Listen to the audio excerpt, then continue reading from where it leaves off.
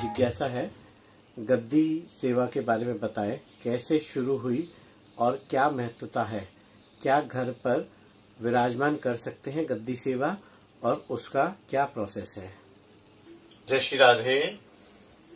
बहुत अधिक ऐतिहासिक इतिवृत्त तो मैं नहीं जानता हूँ।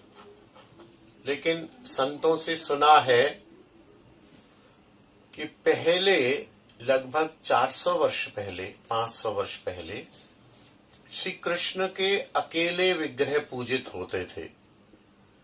बाद में श्री जीव गोस्वामी ने प्रिया जी के रहित श्री कृष्ण के पूजा को अपूर्ण बताया और इस विषय में उन्होंने अनेक वैदिक, पौराणिक, उपनिषदिक प्रमाण भी दिए और उन्होंने प्रचलित कराया कि नहीं, कृष्ण की सेवा प्रिया जी के सहित होनी ही चाहिए, प्रिया जी होनी ही चाहिए। तो फिर प्रिया जी ने अनेक रानियों को, राजाओं को, राधा रानी को स्वप्न देके धीरे धीरे धीरे धीरे सब श्री कृष्ण विग्रहों के साथ में प्रिया जी की श्री विग्रह की स्थापना हुई और प्रिया प्रीतम की सेवा होती रही। यहाँ पर दो तीन विग्रह ऐसे हैं जो प्रिया और प्रियतम के मिलित विग्रह हैं, जिसमें पहला विग्रह है श्री बिहारी जी का। मायरी, जोरी, सहज, प्रगट भई बिहारी जी, राधा और कृष्ण के मिलित विग्रह हैं।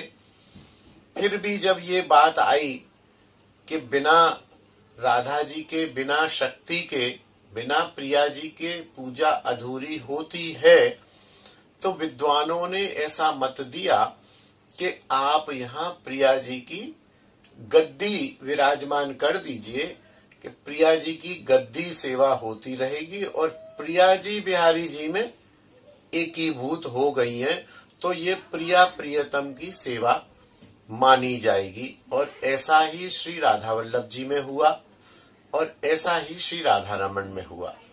वृंदावन में मेरे ध्यान में केवल तीन मंदिर ऐसे हैं, जहाँ गद्दी पूजा होती है।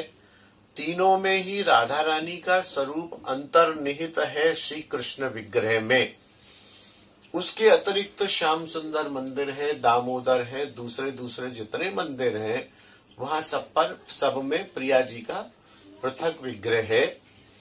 घर पर गद्दी पूजा की मेरे हिसाब से आवश्यकता नहीं है। हम साधकों को, क्योंकि हमारी स्थिति अभी इतनी परिपक्व नहीं है कि श्री कृष्ण विग्रह में ही हम प्रिया प्रीतम को मान लें। या तो हम बिहारी जी, राधा वल्लभ जी, राधा रमन जी के श्री विग्रह निर्माण, द्वितीय विग्रह, प्रतिलिपि विग्रह निर्माण करा के ले जाएँ तो फिर गद्दी बनाएँ। यदि हमने सामान्य श्री कृष्ण पूजा करनी है तो श्री कृष्ण के साथ प्रिया जी सहज उपलब्ध हैं। श्री राधा और कृष्ण दोनों की साक्षात पूजा करनी चाहिए।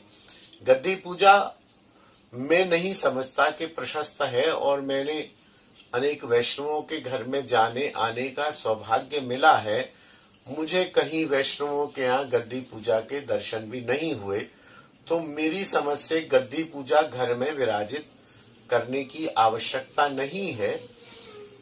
ठाकुर श्री कृष्ण और श्री राधा जी के श्री विग्रहों की पूजा ही करनी चाहिए।